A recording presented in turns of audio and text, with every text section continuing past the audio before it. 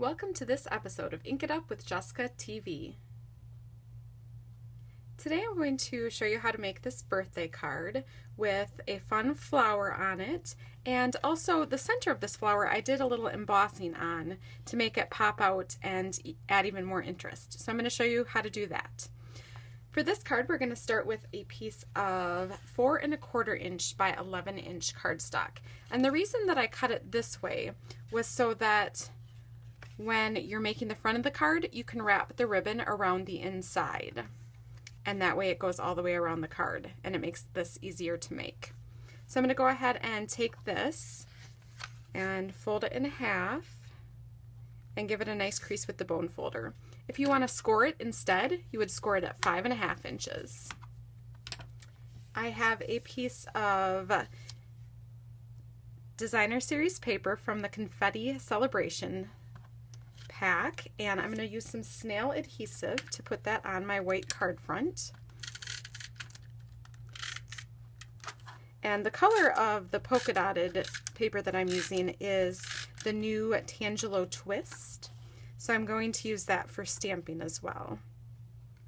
So I'm just going to tape this across. This piece is one and a half inches by four and a quarter inches, so it fits all the way across the card front. We'll go ahead and do some of our stamping now. I'm going to start with this flower. This is from the stamp set Flower Patch. And it's a photopolymer stamp set, so it's totally clear. You can see through. I just have another piece of Whisper White cardstock that I'm going to stamp on. And we'll use Real Red ink for this. Actually, no. We're going to use the Tangelo Twist for the background first. So I'm going to go ahead and ink that up. And just make sure that it gets all over. Sometimes the ink doesn't want to st stick to these clear stamps. You can use an eraser to rub over it and it will take the ink better. Okay, go ahead and stamp that down. I didn't get a great image, but I'm going to stamp over this with real red ink, so I think it's going to be okay. It's also going to dry lighter, as you can see. So next I am going to go to real red. And I'm going to stamp another stamp from that same stamp set right over top.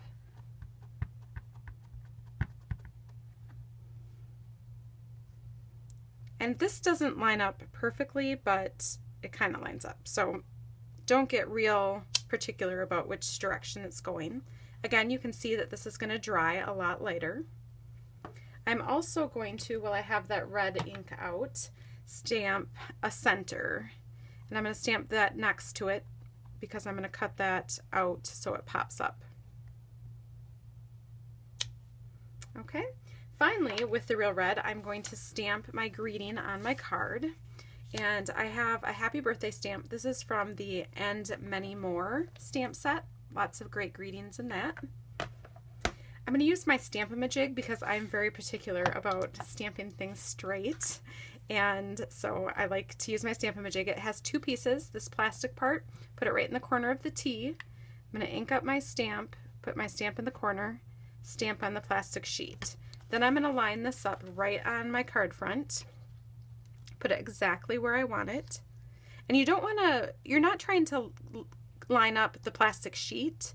It doesn't matter where the plastic sheet is. You want to line up your stamped image right where you want it. And then put the plastic um, T-bar back, move that out of the way, and then stamp with your stamp in the corner. And it'll be right where you want it. Now I'm going to go ahead and take my magnetic platform and put, I have a clear cutting pad on top. Now my clear cutting pad is getting a little bit warped.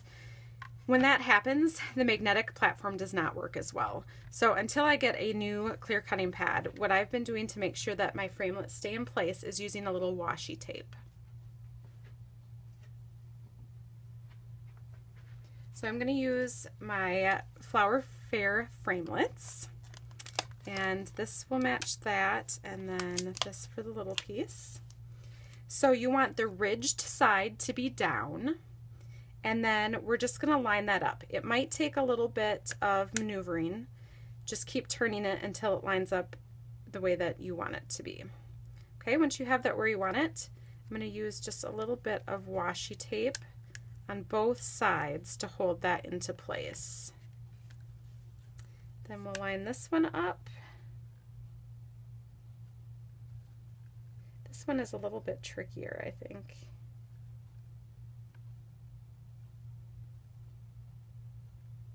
And once you have it where you want it, again, we'll put a little strip of washi tape on it to hold it in place.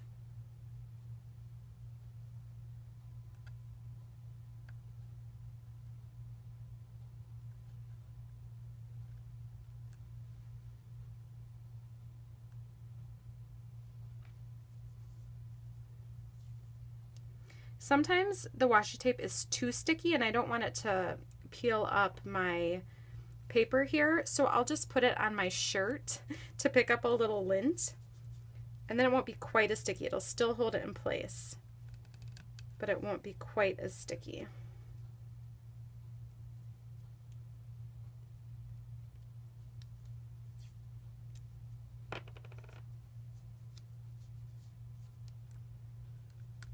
So we'll just go ahead and put another clear cutting pad on top of this and run it through the Big Shot to cut those out.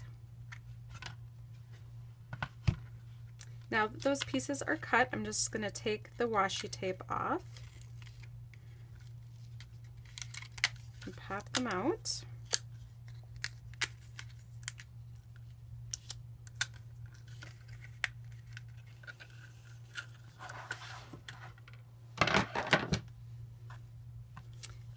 Then we'll work on assembling our card. I have a piece of real red this is the quarter inch cotton ribbon. It's a lot lighter than I thought it was going to be. Um, so it's kind of fun to work with and it doesn't add a lot of bulk to your card. So I'm just going to wrap it around the inside and I want to cover this seam here. So I'm just going to tie my knot here. I always flip this piece over and it seems to lay flat and nice that way. And then slowly pull it so that you get a nice knot. You can play with that as much as you want and also once you get your flower on you can decide if you want it more to the left or to the right. Okay, so I'll say that that's about right where I want it. Otherwise, it does move easily if you just hold on to the outer edges and kind of just push it to one side. I'm going to put some Stampin' Dimensionals on the back of here.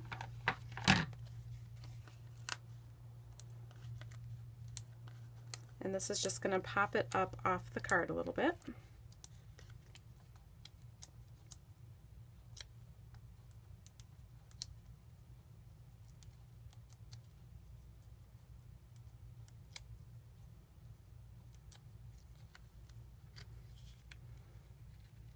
And then just just move the flower around until it gets to the spot where you want it. I'm to put it right there. And I always put my whole card together before I cut my ribbon.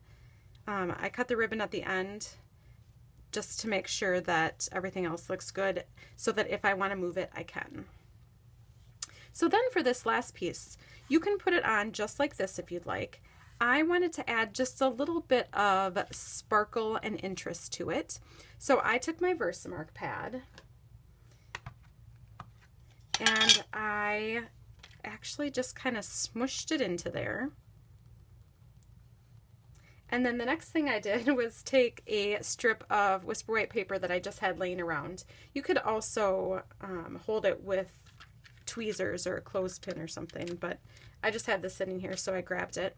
And then I'm just going to tape that to the flower so that I can hold it and not heat my fingers when I'm embossing.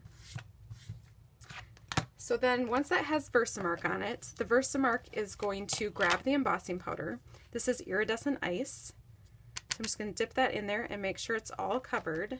And then it's very scientific. I just flick that extra powder off of there.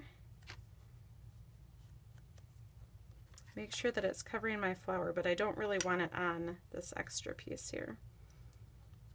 So I'll kind of wipe that off. And then we'll go ahead and heat that until it turns shiny and all the powder melts.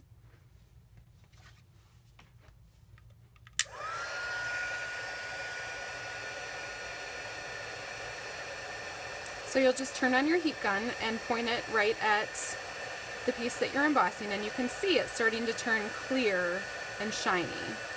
That's just the embossing powder melting.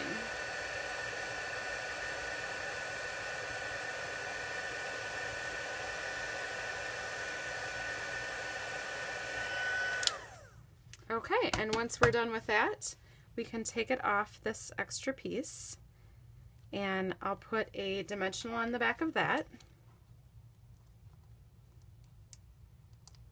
And now we know we're having fun because we're covered in glitter.